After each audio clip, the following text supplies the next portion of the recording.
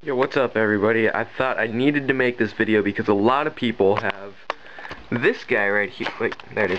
this guy right here, the Roxio game cap, and the audio after about a month or so goes to complete crap. And uh, actually mine didn't even take a month. It took maybe a week or two before it went to complete crap. And lately I've been using, or not lately, but ever since I've been using this other Roxio.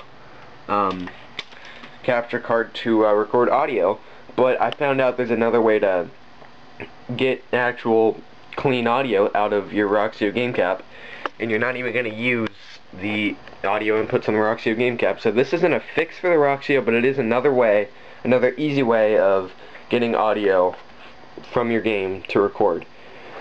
First thing you're going to need, um, you're either going to need this, or you're going to need one of these, right here, um, a female to a 3.5 mil female to RCA female. Or you're gonna need one of these which will make it easier.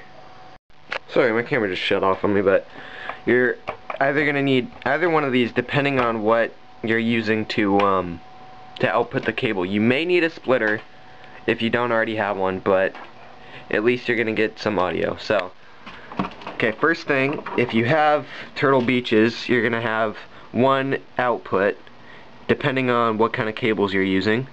Um, since I have the standard cables, I have this right here, this output, so they're the, um, the male output, so I'm going to have to use this guy, plus one more cable. So, after I connect that, I will show you.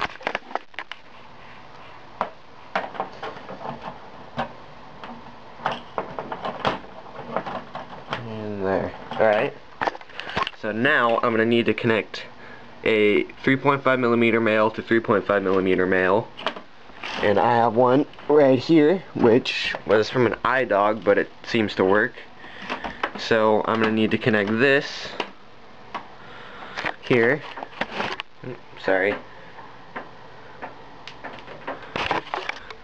One end there, and the other end into your microphone input on your computer.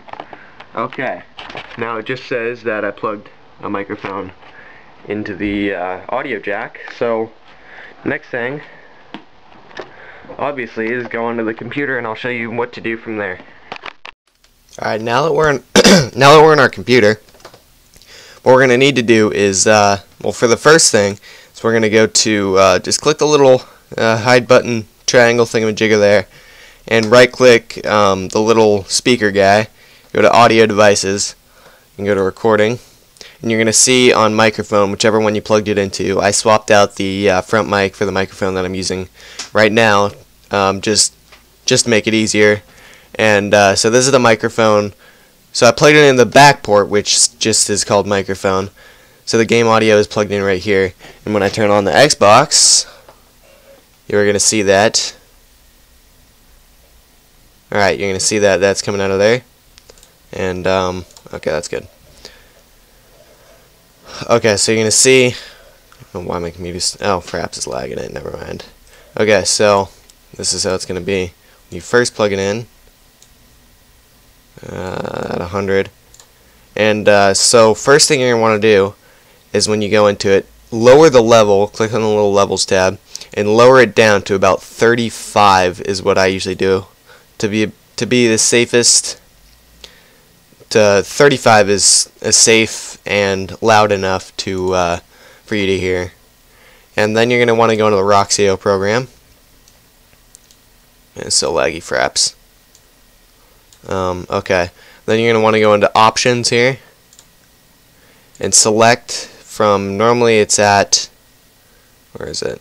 Well Roxio doesn't have audio but you're going to select whatever one you uh, plugged it into, so microphone.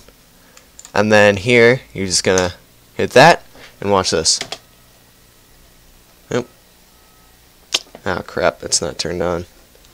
And, um, yeah, I don't have the cable set up, so I can't plug in, I can't control it right now, unless I do something real quick. But, um, so now you're going to have some good audio.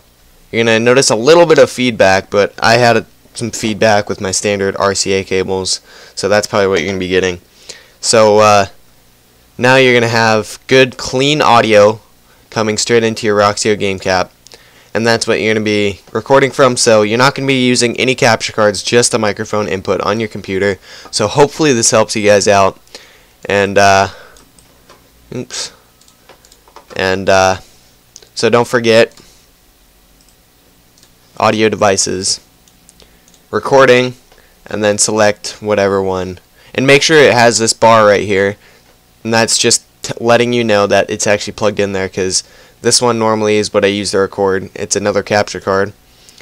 And um, see it's not showing anything because I don't have anything any audio plugged into it right now. And since I have this plugged into the back, it shows that little bar right there. So, thanks for watching. Hope this helps. Leave any questions, comments in the comment section below. And thanks for watching. Later, guys.